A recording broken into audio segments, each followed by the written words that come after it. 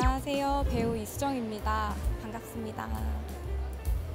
처음 부산국제영화제에 오게 됐는데요. 마음이 떨레, 떨리고 엄청 설레하고 있습니다. 네. 한국 영화의 오늘 비전 부분에 한채라는 영화로 찾아뵙게 됐는데요. 어, 영화는 보시면 압니다. 네. 2023 부산국제영화제 화이팅!